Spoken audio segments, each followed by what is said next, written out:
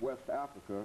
And the uh, guest is Dr. Leonard Madu, who's given us some information relative to how some of the states in West Africa have moved toward becoming known uh, as narcotic uh, states. And of course, Dr. Madu, let's uh, see if we can mm -hmm. pick up where we left off dealing with Guinea-Bissau. Yeah, like I, like I was saying when uh, General Vieira came back, you know, in 2005, uh, he ran for election and supposedly won, even though his opponents felt it was rigged, you know, and became president again.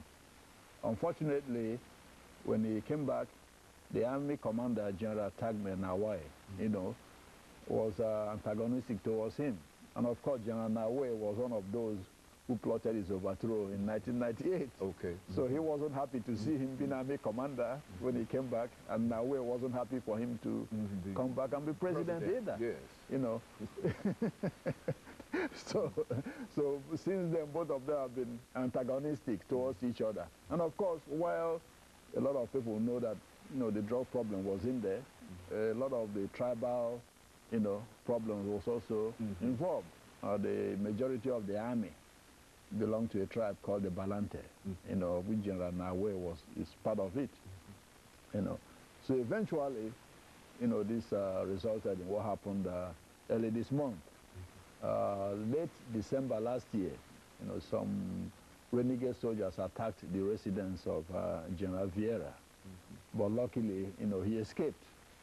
After that, he recruited a 400-man militia to guard him instead of the army. Mm -hmm. You know, because he didn't go outside the, of the army. Exactly. He went outside in the army. Exactly, and recruited a 400-man militia from his own ethnic group to guard him. Mm -hmm. Yeah.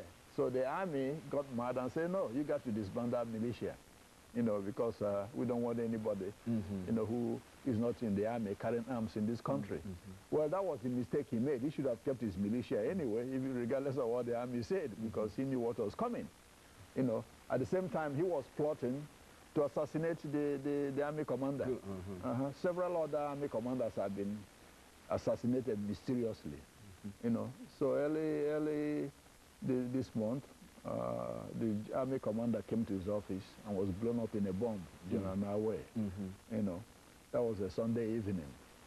After this happened, most of his uh, loyalists, you know, felt that General Vieira was responsible mm -hmm. for it. Okay. So early the next morning, they went and attacked the residence of General President Vieira and assassinated him mm-hmm. for, as a tit for tat. Mm-hmm. Mm-hmm. However, most informed observers including diplomats and some African presidents, believe that the real cause of the you know, mm, both assassination. Yeah, you know, the both assassinations mm. was control of the drug, you know, deal in in Bissau. Mm -hmm. Who controls it? In fact, the, the, before the assassination, the prime minister, Mr. Carlos Correia, had made a statement publicly saying the biggest drug dealer in this country is President Vieira. -hmm.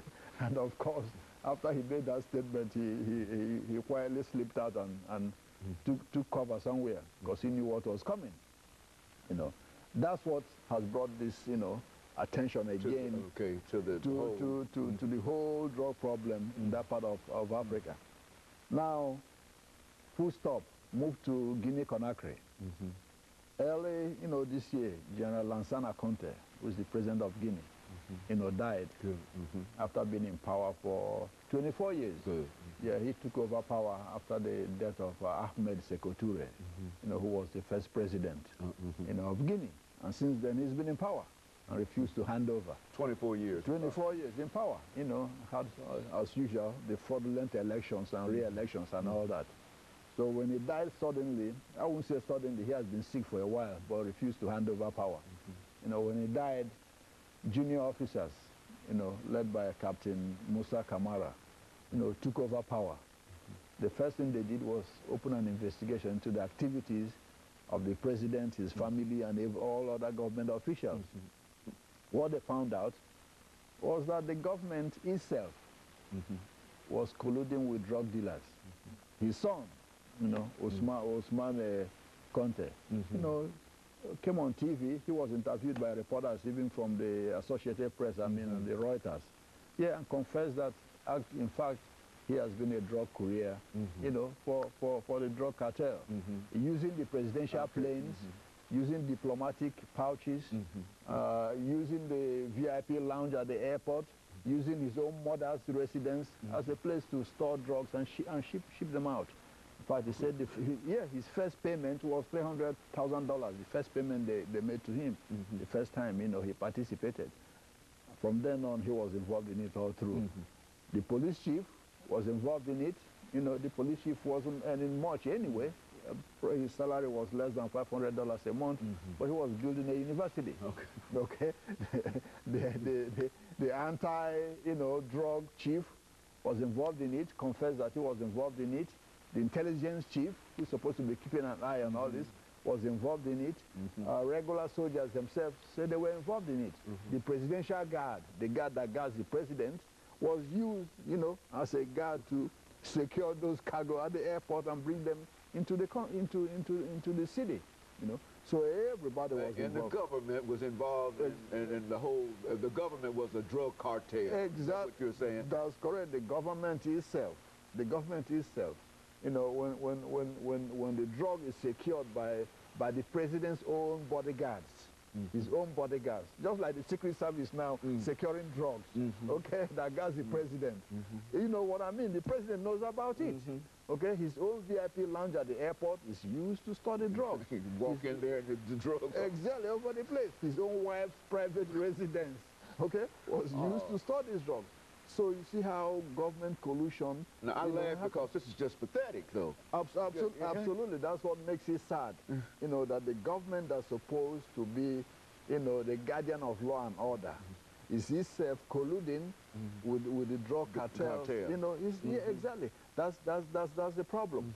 So that is exactly why the United Nations is taking a hard look at these countries, you know, and understands that the, the drug problem cannot be mm. stopped in these mm. countries because the governments themselves are Involved in this. participating. That's right. The government is the cartel. Like, how can you? How can the government stop its own activity? That's, that's, that's correct. The, mm. the government itself in Guinea, Bissau, and, and Guinea Conakry involved mm-hmm. themselves. Okay, shift to Equatorial Guinea, the same. Even the Obiang, who, mm-hmm. who's been there as the president since 1979, mm-hmm. you know, is the same. Annobon Island, mm-hmm. full of drugs. Mm-hmm. Few, few, few miles from the border from Nigeria. Mm-hmm. You know, that's a drug heaven. But Obiang turns, a, you know, uh, eye somewhere else. His sons, his daughters, they're all involved in it. And it's a country that has some of the largest oil reserves in the world. And Yet everybody is is- poor is and they're using it. Exactly. Oh, very good. Of course, Dr. Perdue, let us take this uh, second uh, commercial break and get back. And we'll be back with our audience following this very, very short commercial break.